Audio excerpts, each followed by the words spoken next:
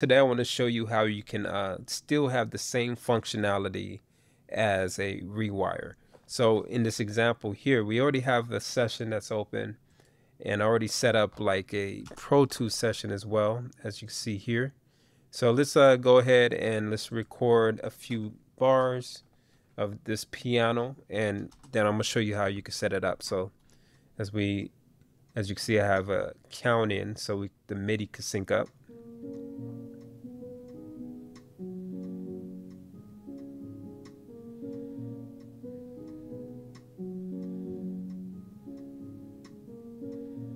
All right, just like that, we had the first parts of the piano recorded from the Reason session. So how in the heck was this accomplished? Okay, first thing you want to do, make sure that you have multiple virtual inputs, which is installed whenever you have when you whenever you install Pro Tools. And you can see this with inside of the MIDI setup menu, as you can see here. So we have the MIDI setup, and you can see these multiple aggregate drivers. I believe on the Pro Tools Ultimate, it also allows there's like an internal aux IO.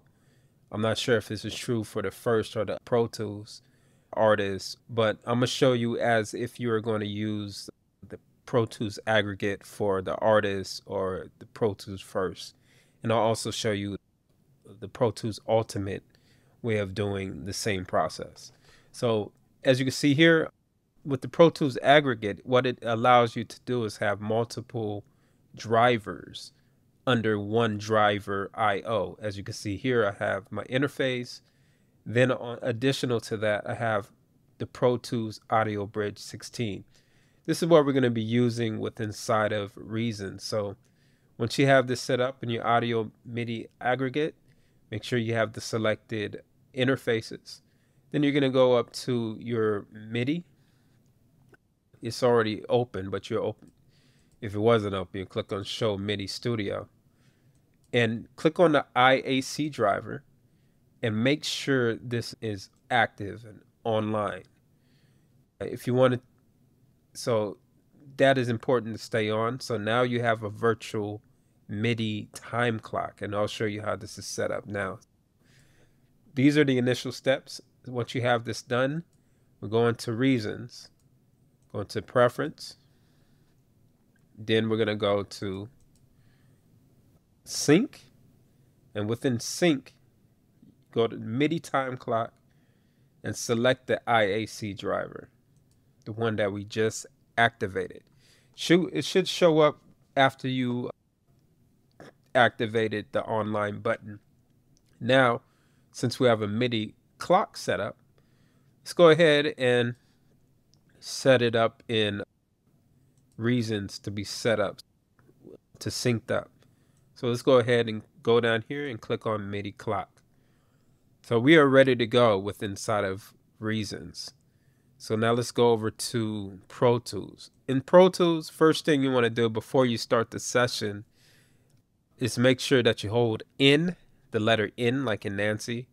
So you could go into the playback engine and set up your Pro Tools aggregate playback engine. All right, so once you have that set up, you're ready to access all of the I.O. So the way we'll do that now is go into I.O. under setup and go under output.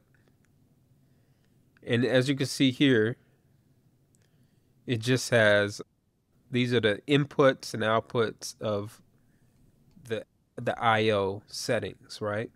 These various channels they're there for the to represent the 16 channels. As you can see here the out 15 16 all the way to 30 those are the additional channels we set up.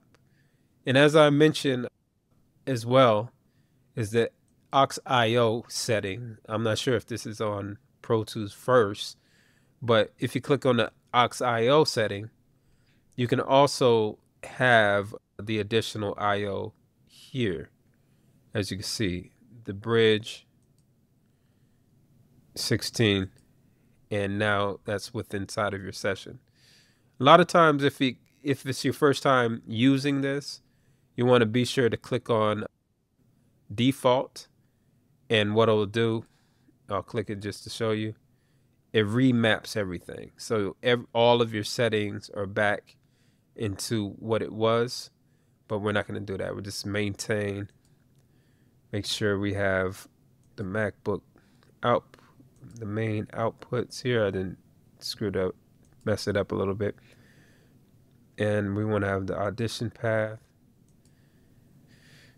And yeah, this is for the um, surround sound. So yeah, now that we have this set up, you could route it to different buses if you want to. Like, uh, as you can see here, I have the 9 and 10 is going out so you can actually hear. I have this set up into the OBS. So the same output here can be routed directly into whatever output you want to have on your computer. So now that's set up, we have to go into the MIDI beat clock. You see this, beat clock? And make sure the IAC driver is set on. So once that's set up, now we have a link with the MIDI and uh, the beat clock. So once that's completed, now we're going to go into the preferences and go to synchronization. Under synchronization, it's going to be defaulted for the receive place. What you want to do is uncheck that and check transmit place. And as you can see here, this is also defaulted to be unchecked. But these parameters allow you to, as it says, shows here, machine follows, edit, insert, scrub. So that means wherever you click on the timeline, it's going to be synced up with uh, Reason. I have all of those checked as well. And you can test out the other ones to see if it's matching to whatever type of output that you're using. If you're syncing it up to a video production program or anything that sort, you will have to keep these options in mind. Once you have this set up, and as we already set up with inside of Reasons, this MIDI clock should be ready to go. So let's go ahead and press play and um, let's see if it's still doing the same things, right? As you can see, it's moving inside of Reasons and it's recording into Pro Tools. So just like I mentioned with the insertion point, so if I stop it and then I move it to a point, you'll see it also move with inside of reasons. All right, so this is a way that you can sync your audio. Of course, you could get more granular with how you want to route your audio. Like, for example, if you wanted to have, instead of me using the one and two, that's right. So, as you see, I have the just going, have it going directly into the master out. But if you want, you could you could bring all the individual instruments into the I/O path. As you can see, you have more audio input. So if you wanted to have all of your reasons tracks to to match individually with inside of your Pro Tools session, you could do that as well. But right now, and up to 16 channels is how we have it set up now. But you could also go further, as you can see, and you can have all of your MIDI channels synced out. In addition to that, you can have uh, MIDI.